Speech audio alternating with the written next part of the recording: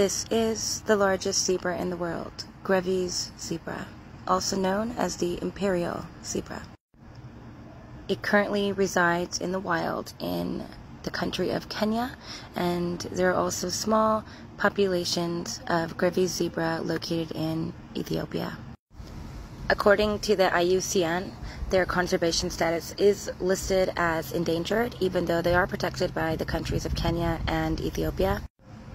This zebra is hunted for its skin because it fetches a high sale price. This zebra also faced habitat and food loss due to the introduction of a very invasive species of tree called the mesquite tree. This is a tree right here. It's a highly invasive species and does populate rather quickly. A fact that is not spoken about often is that this zebra, um, during the time of the Romans, was also used in circus and carnival type shows. The Lincoln Park Zoo in Chicago, Illinois, just had a baby Grevy zebra born. Um, this is the fifth for its mother.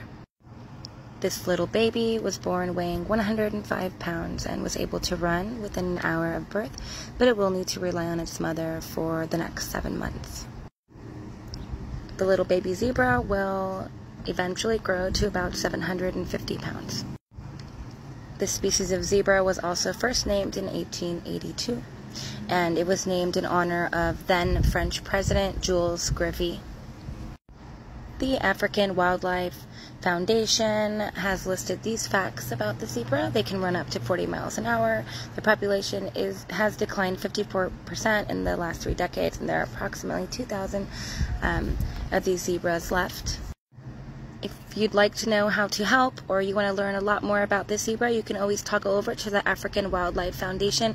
They are working very hard to um, to bring those numbers up in the wild.